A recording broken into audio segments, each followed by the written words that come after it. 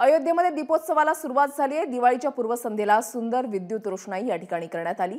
Laser शोचंही आयोजन करण्यात आलं आणि यंदा सतरा लाख दिव्यांच्या प्रकाशानं अयोध्या नगरी ही उजळून निघालेली आहे.